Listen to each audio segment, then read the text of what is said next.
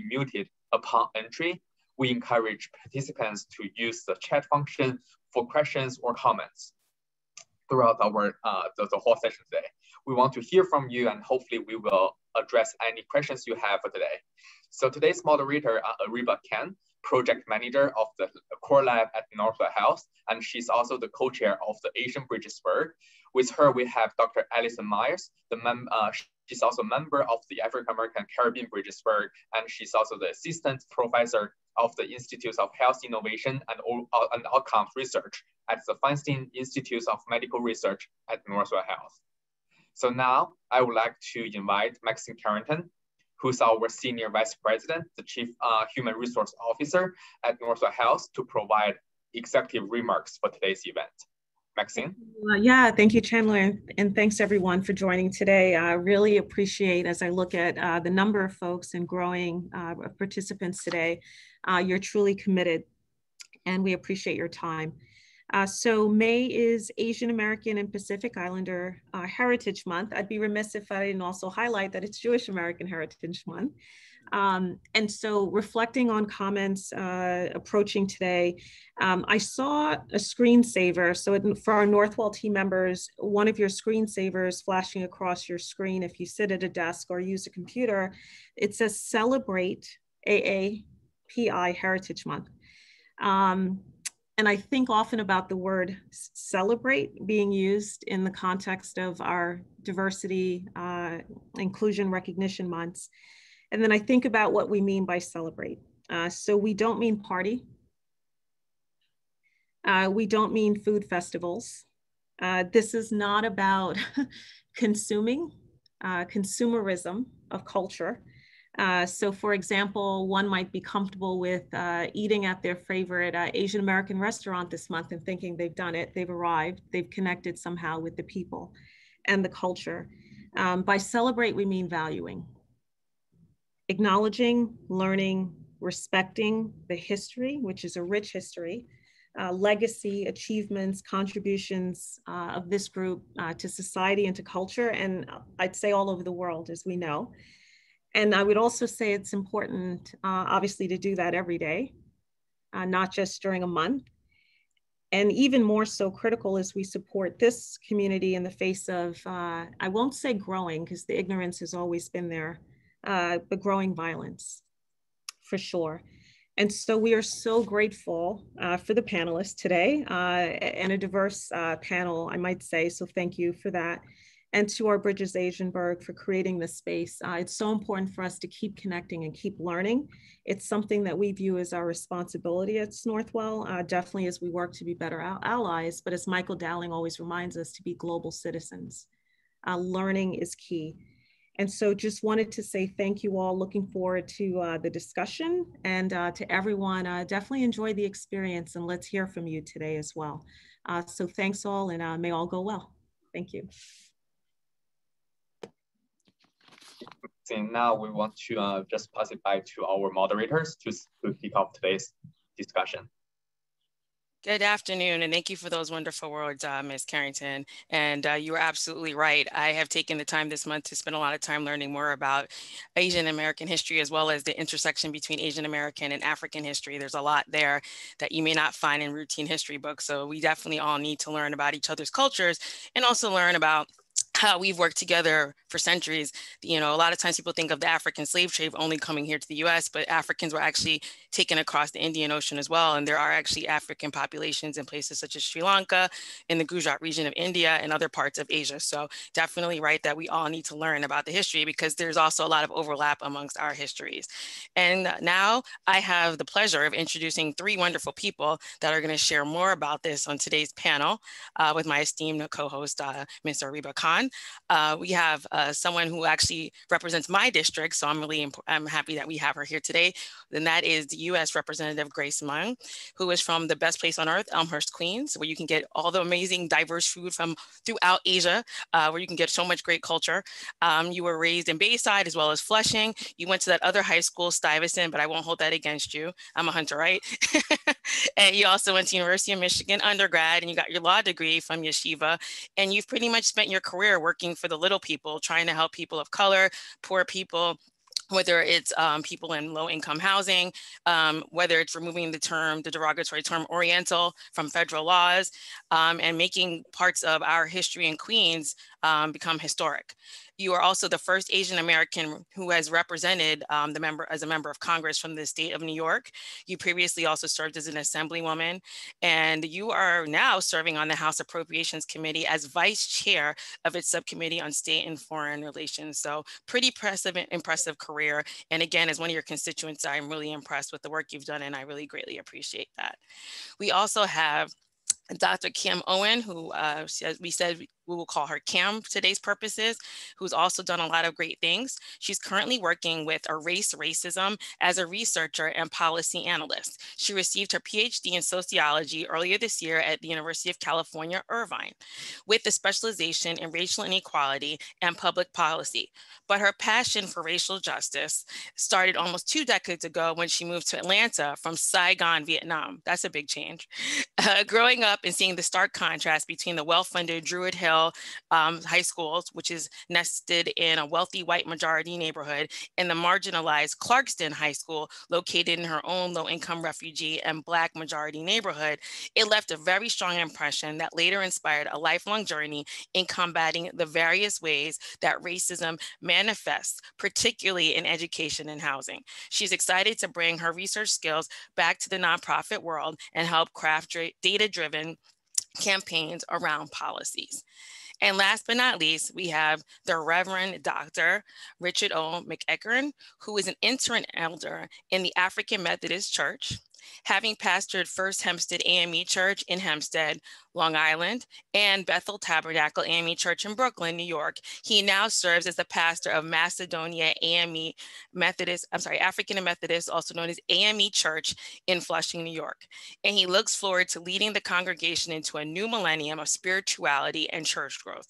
The Reverend currently serves also as president of the Macedonia Plaza Community Development Corporation, where he is responsible for leading the corporation in the development of 143 units units of affordable housing, something we really need here in New York. Um, it is a $45 million project that was completed in December 2014. He is a native of Winston-Salem, North Carolina. He earned his Bachelor of Science at one of our, one of our amazing HBCUs, North Carolina Agricultural and Technical University in Greensboro. He also has received his Master's in Divinity degree and Doctor of Ministry in Urban Ministry from the New Brunswick Theological Seminary in New Brunswick, New Jersey. He's been actively involved in many community civic associations as well as fraternal organization Omega Psi Phi Fraternity Incorporated. He's also a member of Community Planning Board 7, member of the Greater Flushing Chamber of Commerce, the member of the Board of Trustees of the African Methodist Episcopal Church and the Board Examiners for the New York Annual Conference, as well as the Ministerial Alliance of New York City and Vicinity and the NAACP.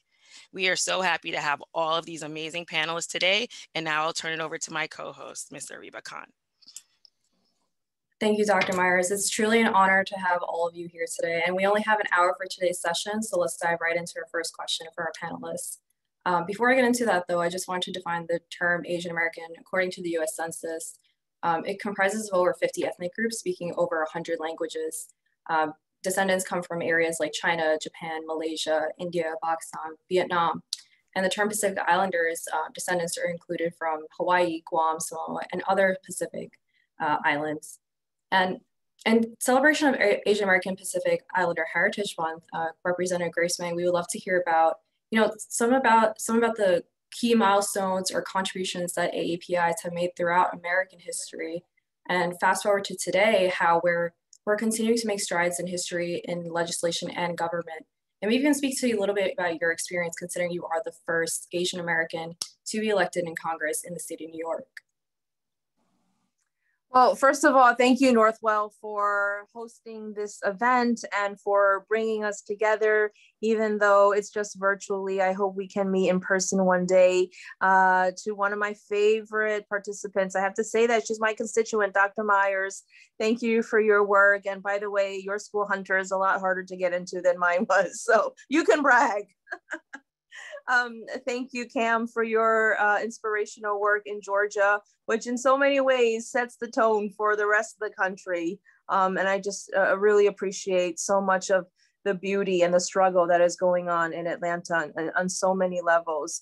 Um, to one of my favorite people in this world, uh, Reverend Dr. McEachern, um, thank you for your leadership. I mean, we're here to talk today about allyship. This is what uh, Dr. McEachern does uh, every single day um, in the historical community of Flushing, Queens. Flushing, which was one of the birthplaces of religious freedom, uh, Flushing, which was a stop on the Underground Railroad. Uh, Reverend McEachern has literally fought to feed and to house people of all backgrounds in our communities in Queens.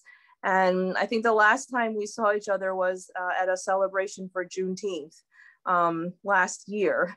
Um, so thank you so much for your friendship and your um, leadership, Reverend McEachern. Um, of course, I spoke so much, I forgot the question. Um, but you know, this this is really uh, a, a, an interesting time in our nation's history. Um, so many hearts have been broken over the last year, not just from the COVID 19 pandemic, but we've literally witnessed the expansion of two uh, incredibly important movements for both the Black and the Asian communities. And I will say, as someone who um, was born and raised here in Queens, I've never seen such a widespread showing of support for Asian Americans from people who don't look like me and from people who don't necessarily share the same background as me. And that really gives me a lot of hope our parents and our grandparents each struggled in their own ways um, in this country and in this city. They don't necessarily have the tools in their toolbox to build and to strengthen these coalitions. And it's literally up to all of us, you and me, as we make history here together. Over this last year, as our communities were battling COVID, um, we also engaged in important rallies and protests and important conversations with our own family members and own community members. As we saw diverse turnouts at Black Lives Matters protests, we had many conversations between Asian American youth and their parents who asked why they were at BLM protests. And so this sort of opened up a very necessary um, avenue of communication that many people um, think is really long overdue in this country. We live in such a diverse community, but too often live, work, and exist in, in, in our own different separate silos. So right now, I'm really trying to see the silver lining in, in, in all of this, um, having these um, tough conversations, finding ways recently the national NAACP president said, you know, you got to be a friend before you need a friend. And I think that just really represents so much of what change and, and beauty we are seeing now between and amongst our shared communities as we learn more about each other's histories in this state and in this country, which we really don't know enough about, and learn that we have so much more in common with each other and that we can work to mutually support each other. Um, and so, you know, I these are the silver linings uh, that I see. Absolutely, great. So we we appreciate your leadership, and you know, we're, there's progress made, but there's still a lot of work that needs to be done. Um, and like you said, change starts, you know, with us. So I wanted to kind of pivot towards talking about um, what you kind of touched upon about discrimination and racism towards the AAPI community, which unfortunately is not new. We have seen an uptick of anti-Asian violence and racism during the COVID-19 pandemic, but um, a lot of these were due to the xenophobic narrative surrounding the virus. Um, and in fact, there, there's a statistic out there by, um, there's an organization called Stop AAPI Hate, which tracks reports of hate crimes. Um, from March 2020 to March 2021, reports increased from 3,795 to 6,603. And this includes verbal harassment, physical assault, civil rights violation, and online harassment. Um, so Dr. Kam, I'd like to pivot to you. Um, you know, it seems like in these times, it seems like there's been more attention paid to incidents between the Asian and Black communities, which is truly detrimental because there's, in fact, there's, there's history of solidarity between the two. Um, can you provide some historical context in terms of maybe public policies or narratives that might have pit, pitted these communities against each other? um, in the past and around these the, the root causes of what we're seeing today and how in fact these you know the asian and black communities have actually worked together in solidarity yeah for sure um, so i think uh, i wanted to have a quick disclaimer and i think dr um, myers touched on this in the beginning that you know a lot of times when we think about asian and Black communities, we tend to think that they don't overlap, right? But obviously there are Black Asians. Um, and, you know, even um, Vice President Kamala Harris um, is from, her, her mother is from India, right? And her father is from Jamaica. So again, there's this idea that again, we, we need to be root ourselves in the common understanding that race is social construct. It's not biological. It's not something that is real, even though it has real social consequences, right? So, you know, let's say it for the purpose of this conversation, I want to talk more about communities that are racialized by our society as Asian.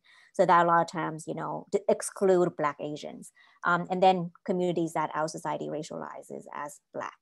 Um, so so in that sense i think it all comes down to anti-blackness right? Wherever there's an instance of let's say hate crime against an asian person per, per, perpetrated by a black person the media amplifies it a lot more. Whereas when you see that when the hate crime is amplified or is committed by a white person then the media downplays it right? Whether using the idea of mental illness whether using even ignoring it, even just saying, oh, maybe it's not about race. Um, so again, I think this is rooted in anti-blackness and how black communities are racialized in a criminal way or criminalized to begin with. Um, so, so on that end, um, you know, I think that that's that's an important way to think about it. It's not that they care about Asians, it's that they, you know, want to criminalize Black people further. Um, and when we talk about the history of solidarity, I think it's important to not fall in the trap of invisibility. So on the one hand, you know, some people fall in the trap of invisibility by saying that there's always been conflict, there's never solidarity. And on the other hand, there's the myth of invisibility where, oh, the two communities have always worked together and kind of ignore the fact that again, community communities racialized as Asian do benefit from anti-blackness. And a lot of times we have actively um, utilized that anti-blackness to our advantage. Um, so, you know, I think I was lucky in that my first job out of college um, was working in, in New Orleans East, and it was a multiracial um, organization working on how um, working on education equity. So I was lucky to be in a space where that itself was the solidarity with, between Vietnamese youths, Black youths, and um, Latinx youths working together um, on a host of issues in terms of education equity, in terms of dealing with how charter schools left a lot of kids behind, in terms of um, lack of language access, in terms of racial discrimination that Vietnamese and Latinx youths faced. So an example um, was that for one of our campaigns, even though this issue didn't affect a lot of the Black youth, they were a part of a lot of demonstrations, they were a part of a lot of the actions where um, we found that um, charter schools in New Orleans discriminated against Vietnamese and Latinx youth by automatically enrolling them into ESL classes, so English as second language classes. So the idea was that administrators just saw a non-English name um, and assume that these young stu students didn't speak English, right? So they put them into those classes, and which then had huge consequences in terms of their later education trajectory. Um, again, even though these students were born here, even though they spoke and wrote and read English well, um, there was that assumption. So that was a campaign that um, we did the research for. Um, that again, Black youth joined um, the campaign, even though it didn't affect them per se. Um, so that's just one example um, of a long history of solidarity, right? I think currently we see um, the fight um, to to protect affirmative action. So I think this is where you can kind of see the complicated history that on the one hand, we do see some Asian-led groups trying to dismantle affirmative action. But on the other hand, we also see Asian-led groups joining Black, uh, Black-led groups to push for um, affirmative action to be protected. Um, and yeah, so I think in that sense, we should look at the whole host of history and kind of sit with the nuances and not try to gloss over one side or the other. Um, yeah, so I think I'll, I'll stop now um, on, on that question. So Asian hate crimes have been something that have been ongoing. Um, a lot of people think that Atlanta was the first time that something like this has happened, but let's look back at 9-11 when a lot of the Sikh Indian community was actually being terrorized because people did not know the difference between people who are Muslims in this country, people who are Sikh, and not to say that we needed to attack Muslim population, obviously, that's not where I'm going, but there were a lot of Sikhs who were actually violently beat up here in Queens and in other parts of the country due to what happened around 9-11. So now Unfortunately, fast forward another 20 years, we're coming, it's coming to the stage again. We're around COVID, we're seeing this uptick of Asian hate crimes. So uh, US Congresswoman Grace Meng, can you talk more about the role of developing this COVID-19 Hate Crimes Act um, in which the Senate finally passed and that what you uh, pretty much put together and what do you envision that this will do to help combat anti-Asian hate and what are the next steps of this legislation? So thanks for the question. This legislation was passed by the Senate a few weeks ago and hopefully will pass the House um, sometime this month. This legislation does a few things. It provides funding for local community groups like the Stop AAPI Hate that was mentioned. Our local groups, and Cam knows this, has really been on the front lines of doing a lot of the work that government, quite frankly, should have been doing. From translating materials, some of my constituents didn't even know that we were under quarantine in the first few days because they don't necessarily watch cable news network or, or you know, read mainstream papers. And so, you know, in this time of, of what's almost like a war, we need to make sure we're able to support the organizations that are reaching out to our everyday community members.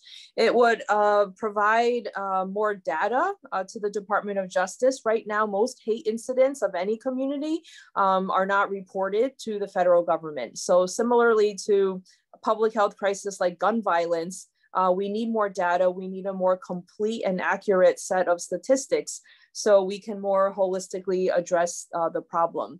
It would provide guidance for local law enforcement on making it easier for these incidents to be reported. Um, in New York, for example, we always tell people to go report it, but it's not always so easy. People might not feel comfortable going to a police station. People might not know English. People might be disabled people there was a case where someone was literally on her way to work when something happened to her and she couldn't be late to work so are there ways that we can make it easier for people to report either online or in multiple languages? Um, I will say that one thing that, you know, not everyone agrees with me, but hate crimes legislation alone is not going to solve the problem. We're not going to prosecute our way out of this. The goal is not to lock more people up necessarily. Not every hate incident is a hate crime. So this is something that is at the back end um, of what uh, we need to do to help the community. But on the front end, you know, community health programs, mental health programs, uh, strengthening the social network, um, education, that is also a huge piece um, of what needs to be done. This is, there's gonna be a very long road uh, ahead of us. Um, and then passing this legislation uh, is one piece of it. Thank you. Reverend McEachern, your church, Macedonia AME, is in the heart of an Asian, the Asian community in Flushing. Can you talk about what you've been seeing or hearing from the community regarding the anti-Asian violence and what have been some of the actions of the community has taken in response to this? Thank you, Dr. Myers. Uh, thank you, uh, Ms. Kim, Ms. Khan, I'm sorry.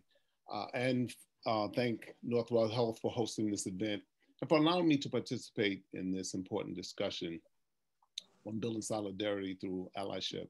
Um, I'm truly and uh, honored and delighted uh, to share this panel uh, discussion with my good friend, um, Congresswoman Grace Meng. What I'm seeing and hearing uh, from the community regarding anti-Asian violence is anger, remorse, and frustration. Uh, many of us were shocked and outraged uh, when we learned of the mass shooting in Atlanta, Georgia, uh, we mourned the lives lost in the killing of eight people, including six um, Asian American women. Uh, many of us were angered. uh, by the recent violent attacks against Asian Americans in Flushing and Chinatown and in other parts of the country. Um, we've seen the, elder, the elderly and others violently attacked while walking on the streets or in the subways. Uh, these, these attacks hit home for me um, when I saw in the news an elderly Asian woman being attacked in an area of Flushing that I was familiar with. Uh, so that would hit that hit home for me. Um, uh, many of us are frustrated, frustrated by what we are becoming as a society and what seems like this acceptable behavior uh, to racism, violence, and hatred. Uh, but in spite of all of what we see, we, we do see community groups uh, coming together and taking action. Uh, community leaders, activists, and residents are building coalitions, and we're speaking out against anti-Asian hate. Uh, so there's there's a um, a wide range of emotion, uh, and I think um, not only in, in Flushing, but in, I'm, also in, I'm, and in two locations, uh, Flushing and in Southeast Queens. Um, but I do see people coming together. I do see um, people uh, taking a stand and speaking out uh, within the community.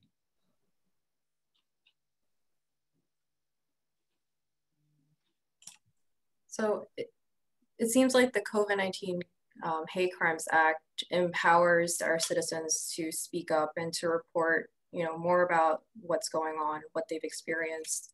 Um, Congresswoman Grace, can we talk about the flip side of it, where um, can you talk about future legislation ideas you plan on working on or might be working through that includes addressing racial inequity and violence by enfor law enforcement or additional legislation that takes more of a preventative approach uh, for preventing racism and hate incidents uh, towards Black and Brown, Latinx, and other marginalized communities? So, two bills that I'm more directly involved with. Um, one uh, related to this issue in general, on, on the issue of mental health, trying to figure out ways where local law enforcement um, and local municipalities can train more mental health experts to respond to emergency situations. Uh, many of the 911 calls that come through uh, are actually mental health related um, about 25 to 30% of the attackers in New York of these anti-Asian hate incidents um, also have mental health issues. So whether it's for the perpetrator or whether it's for the victims, um, our government at all levels need to invest more uh, robustly into mental health programs. This is something that is not a new problem, of course, but especially after COVID is something that we really need to focus even more on. Um, another issue that I'm working on is just to uh, provide more diverse curriculum for our students uh, at the K through 12 levels. This is something that, you know, I've been trying to participate just on my uh, own time with you know leaders around the city from black latino asian communities. And what we found out is that there oftentimes different communities don't really know a lot or don't know enough about each other's experiences our histories um, our the trauma that different communities have faced in this country. Um, and so we want to make sure that we are uh, providing for a more complete and accurate teaching of American history in this country. Um, we did not learn enough uh, as a kid about the Chinese Exclusion Act, Congress literally passing laws to prevent people who look like me from becoming citizens. Uh, we didn't learn enough about Japanese American incarceration camps. We didn't learn enough about the Chinese community and the Black community in Mississippi, uh, the death of Vincent Chin, and slaves building the US Capitol, the very place where I work every single day.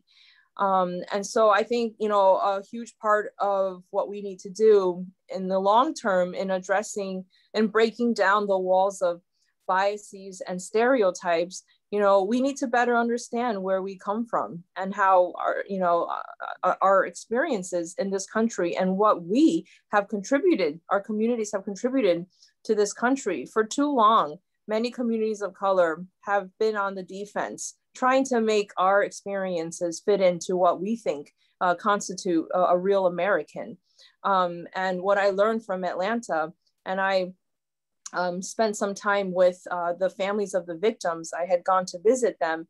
What I learned from them and them talking about their families and their stories was that we need to be proactive. We are proud and confident of our history and our experiences uh, in this country, and that we are all just as American uh, as anyone else. That's really well said. Thank you. Um, I know you have a busy schedule today and you need to leave soon. But before you go, I'd like to invite the audience um, to ask a few questions and provide comments for Congresswoman Grace. Um, you know, you brought an important point that, you know, talking about the, you know, each individual story about the immigrants, you know, people that have come here, everyone's story is so unique. But in, in terms of the classroom setting, we don't really talk about it enough. Um, and AAPIs have made tremendous contributions in different sectors, you know, ranging from economical growth, healthcare and sciences, arts, entertainment, and even government. Um, so, you know, thank you for the work that you're doing. It's really important.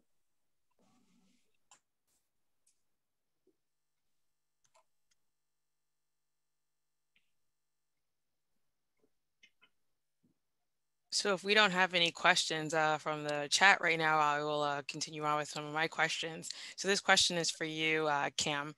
Can you discuss some of the issues that can occur when AAPIs are viewed as a monolith? That we mentioned earlier that there's probably 150, 160 different Asian groups here, um, but very often it's this umbrella of just Asian American.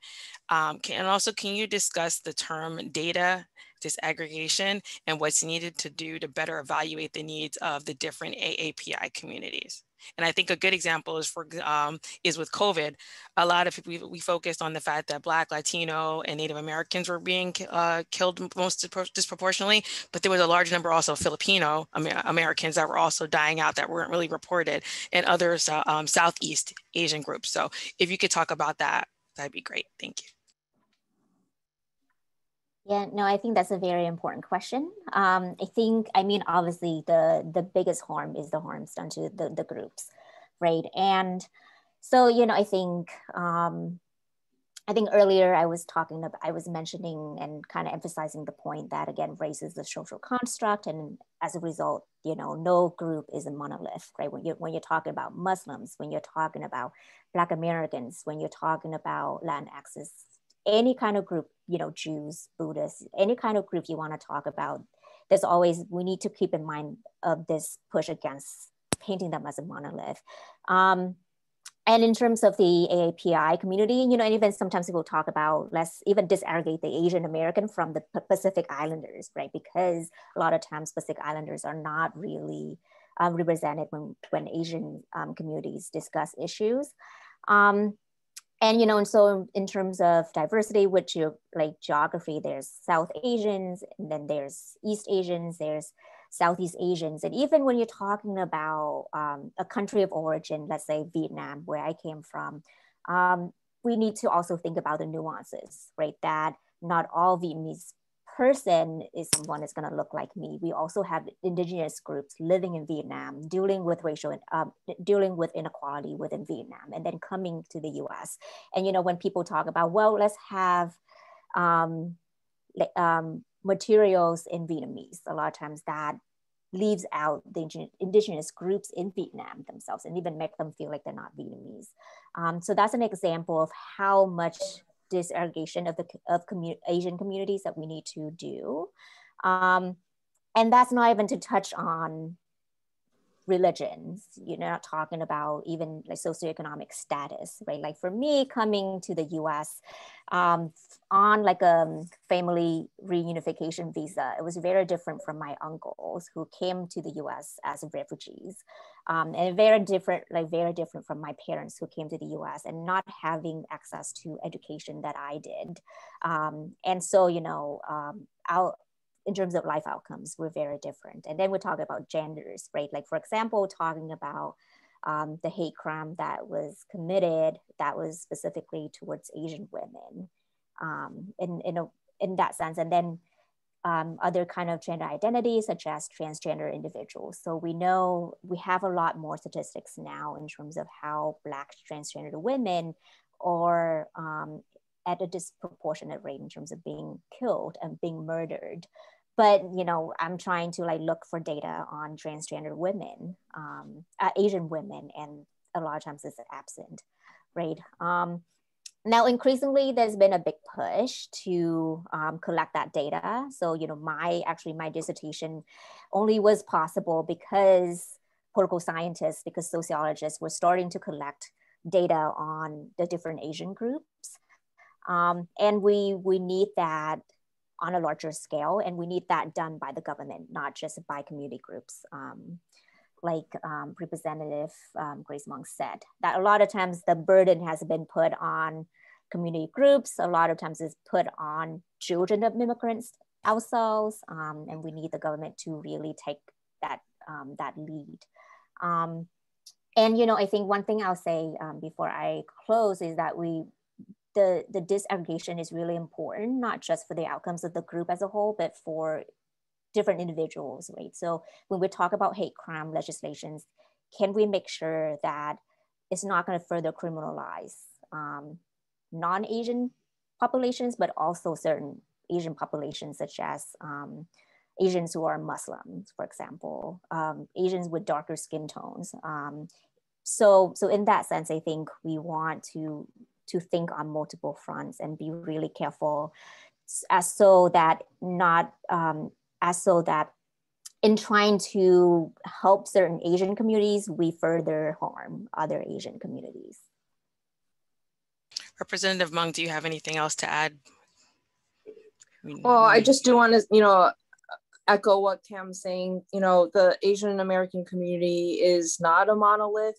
Um, we need to be making sure at this time that we truly are reaching out to different communities and being good listeners. Um, disaggregation of data is so important. And sometimes, even within our own community, Cam knows we get some pushback. But COVID, mental health, uh, diseases that specifically affect uh, our community in a disproportionate way, hepatitis, diabetes, we need to know the numbers. Uh, again, whether it's whether it's health issues, whether it's gun violence, whether it's hate incidents, we need to have a fuller picture of the data and the statistics so that we can ask for more resources to address these issues and to provide solutions. Um, and so I just wanted to say thank you all uh, to for having me here today. And you know, I didn't mention how incredibly grateful I am as a local representative for the whole Northwell family. I know that you have all been through so much, what we can't even imagine. While so many were quarantining safely at home, so many in the Northwell family couldn't and didn't. And you all sacrificed so much uh, throughout the past year. And uh, we are incredibly grateful to all of you. So thank you so much for what you do. Uh, thank you for this space. And let's continue to have more of these conversations. Um, I'm always around if you need me. Thank you, Grace. Thank you for joining us. Okay, and Reverend McEachern, uh, I have a question for you. You know, our communities, unfortunately, have had this long-standing history of not always seeing eye to eye. Um, you know, there have been instances in stores and things that have happened in, in our communities between the Asian and the Black uh, communities. So what are some of the ways that we can build the solidarity and act as allies for our Asian brothers and sisters? And what are other ways that people can continue to support such efforts? Thank you. Well, I think forums like this always helps. Uh, it shows solidarity among uh, the different ethnic groups. Um, uh, there has been uh, issues in Flushing between uh, African Americans and, and, and Asians. Um, as you know, in downtown Flushing, there are many stores that are owned and operated by Asians. Um, and sometimes there's there may be this feeling of displacement among African Americans in, in certain areas in, in, in Queens, where the, uh, the population is predominantly Asian. Uh, however, I think in times of crisis, we always come together. Um, I was, um, I was, I had the opportunity to be a part of a, um, a rally um, that brought together faith leaders, uh, civic activists, and local residents on the steps of Queens uh, Public Library in downtown Flushing. Uh, we were taking a stand uh, uh, it, to unify um, our commitment to stand with our, our, our Asian American brothers and sisters as they are being attacked uh, this event was organized by John Choe, uh, the executive director of the Greater Flushing Chamber of Commerce. Uh, we had other people um, attendance there. Uh, we had Julie Ae Kim um, from the Asian American Feminist uh, Collective.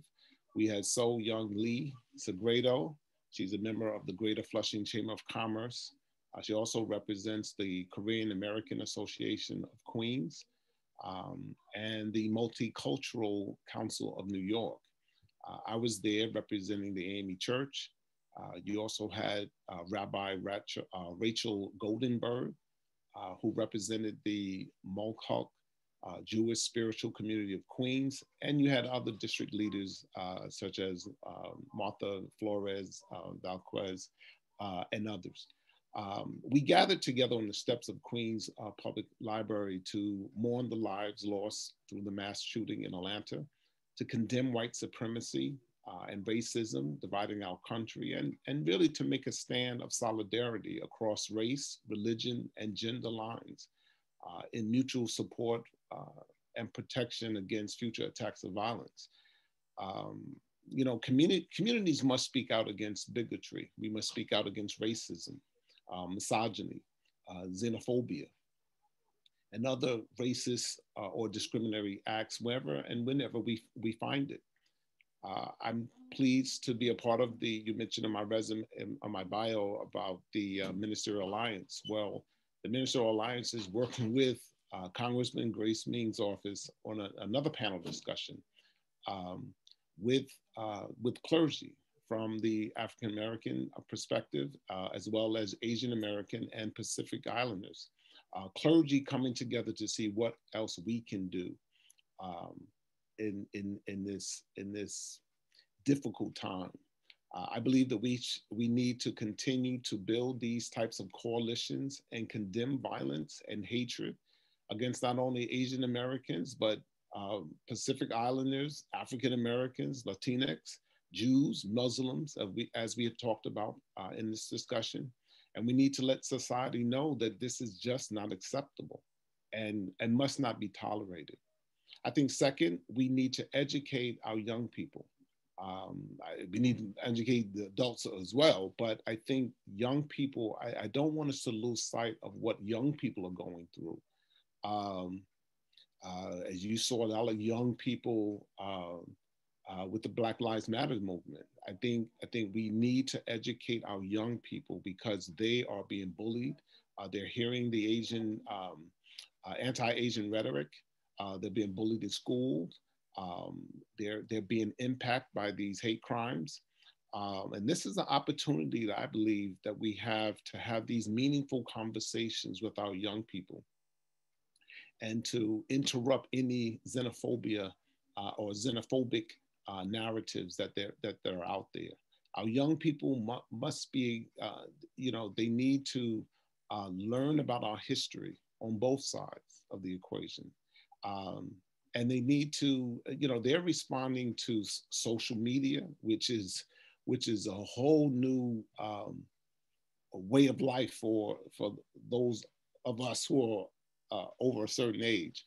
But but they are getting bombarded by uh, bombarded by social media posts, and so we need to really uh, educate and and um, our young people to make sure that they are uh, expressing their concerns, their anger, their frustration um, about what is going on in our society. And, and lastly, let me just end with this: that we must hold elected officials accountable. Uh, the, the anti-Asian rhetoric of the former um, administration uh, in connection with COVID-19 pandemic has fueled this verbal attacks um, throughout the country. Um, and, and not only verbal, but now we see this now becoming physical. Uh, so we must hold our elected officials accountable those who are promoting uh, hatred and division are doing very little to speak against it. You know, being silent speaks a lot. So we must let them know that they cannot be silent, that they must speak out against it, uh, and that their their inaction to do anything um, is not acceptable and cannot be uh, tolerated. Um, a quote that I read from uh, an article, uh, this person said, we have to start to see people as human beings because, uh, because our entire humanity depends on it. So, you know, I, I think, you know, there's a lot that can be said, a lot to be done here. Uh, I think we need to continue to have this type of dialogue so that people are aware. I, I agree that we don't own, I, look, there's a lot of history in this country, and we need to know our history. Uh, from the African Americans perspective, from the Asian American perspective, Pacific Islanders perspective. I think Cam, you you mentioned it. You you said it best when you mentioned um, uh, Kamala Harris. I mean, she's a Pacific Islander, which we don't look at, and so there's a lot of stereotypes out there. There's a we have been damaged in this country in the last couple of years. Uh, and it's going to take some time to rebuild this. But I think through, as a, as a clergy, think through prayer and seeking God's direction, I think we can get there. Thank you. Absolutely. Thank you for the work that you're doing so far. You brought up really important points about, um, you know, tolerance and the consequences of staying silent, but also, you know, acknowledging um, other people you know their identities but also what their path was like and what it means to be in solidarity with other people as well um, i'd like to pivot to um, we have two guest speakers from our employee relations team. We have simon who is the avp of employee relations and michael who is the director of fair employment practices. Um, we do have northwell internal resources for uh, team members but we also have it for our family members as well to seek assistance or report any incidents that they have either been directly affected by or may have witnessed. Um, so Simon and Mike, I'll let you take it away to talk about some of these resources that we have here at Northwell. Thank you so much. And uh, thank you for inviting us to uh, join today's event. Just want to quickly check that I'm coming across clear. Everyone hear me all right? Seeing that, thank you. Yep. So uh, again, um, Mike McCourt with our Fair Employment Practices Group in the Human Resources Department. Uh, this is a topic that, of course, is central to really all of the work uh, leaders in human resources does for the organization. But for today's event, uh, I just want to quickly thank the Bridges African American and Caribbean and Asian BERG uh, for organizing. The BERGs are an amazing resource and a fantastic group of folks helping to advocate on a wide variety of important issues and uh, communities. And it uh, continues to be an integral component um, of, of this strategy. I also want to echo uh, some of the sentiments from Maxine Carrington, our Chief Human Resources Officer. You know, that events like this and the, uh, the, the, values are central to uh, our vision to deliver world-renowned team member experience, driving a culture of innovation, inclusivity, and well-being to empower our teams to redefine the future of healthcare. Uh, we're dedicated to supporting the total well-being of our teams, uh, and we continue to identify equity, diversity, and, and inclusion as core elements of that, closely aligned with our culture of care, employee promise, and our values. So as we recognize and celebrate, uh, we also want to highlight some of the resources, uh, education, and policy that underlie it, as so many of our speakers today called out, um, uh, educating is an important component of this by creating an environment of belonging and allyship uh, where team members are encouraged and comfortable bringing their whole self to work. Uh, we, we enhance our ability to support uh, the patients and communities that entrust us with our care. So just from a policy perspective, we of course, uh, safety, being supported, being an ally is critical. Uh, Northwell has a strict policy prohibiting discrimination, harassment, and retaliation, and any discriminatory or harassing behavior uh, should be promptly reported. All reports will be uh, timely investigated. In the workplace, of course, also your local site security, workforce safety, law enforcement when appropriate are available. But we also want to talk about uh, some of the resources that are available to help leaders and team members on uh, their equity, diversity, and inclusion journey. You may uh, have seen some of these supports advertised in recent town halls and in other system forums, uh, but we encourage uh, you to take them back to your teams and review as you prioritize this topic and support ongoing dialogue with your teams and colleagues. These are resources like our Inclusion Academy, a site featuring learning and development offerings supporting our commitment to advance a culture of trust and safety. Our Racial Equity Resource Center, maintained by Northwell Center of Equity of Care, uh, which affirms our commitment to racial justice and related content to support, uh, including Northwell Town Halls, conversation guides to help facilitate dialogue, and steps to make sure that those conversations continue. As well as assorted trainings, readings, articles, TED Talks uh, to help advance your own personal learning. And then finally, as it relates to our total well-being, uh, please, please take advantage of the wide variety that our Total reward team curates. Things like our well-being and behavioral health resources, a well-being page that curates and pulls together links to all of these, which we will make sure is circulated after today's session. Things like our Employee and Family Assistance Program, which is available to uh, all Northwell team members and their families for uh, intervention resources. It's a great starting place and there's no shortage of uh, other links related to your benefits and resiliency.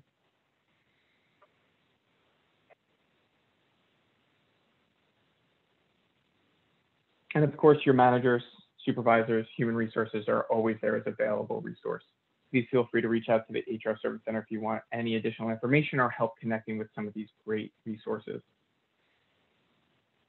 And if you should experience an event at work, again, we encourage you to please report. Our employee relations team and, uh, and our site human resources representatives uh, will be glad to support you.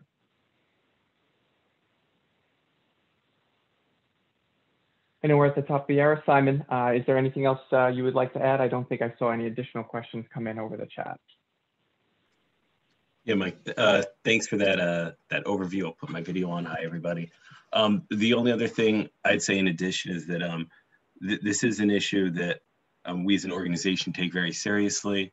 And I know uh, for the people who are Northwell employees on this uh, on the Zoom call, they may recall seeing an email from Michael Dowling. They went to all employees, really denouncing the unconscionable uh, discrimination harassment against the AAPI um, uh, population. Um, and also uh, emphasizing, in addition to those internal resources, um, reaching out to law enforcement or uh, contacting New York State's and I just want to make sure I get the name uh, correct, the New York State Hate Crime Task Force, which you can reach on their website to report things or use their phone number to contact them as well. Um, but uh, I think other than that, Mike, you gave a great summary of our internal resources. And, and thank you everyone for giving us a platform to talk about this. Thank you, Michael and Simon, for these important, useful resources for us. Um, so this concludes our panel discussion today on learning the history of AAPIs and building solidarity through allyship. These conversations will continue through various um, BERG programs, events, and initiatives organized by our BERG leaders um, and CEC and HR. But if you're not a member, please sign up through my experience by clicking on the BERG application. If you are a member, encourage your colleagues to join, your, your bosses, your friends to join as well so they can engage in these conversations and events as well. Um, I just want to say thank you to CEC, uh, HR, our Congresswoman Grace, Dr. Cam, uh, Reverend Dr. Richard, and my co-moderator, Dr. Myers, uh, for your time and for making this panel discussion really useful and such an important and insightful conversation for all of us. Um, thank you to Andrea, Neela, Emmy, Richard, Ralph. If you guys want to come on camera and say hi. Uh, Michelle, Jordana, thank you all for your help. Chandler, Um, and thank you to everyone in the audience for tuning in today in celebration of AAPI Heritage Month. Um, and we hope to see you at future events. Have a great day. Thank you. Enjoyed it.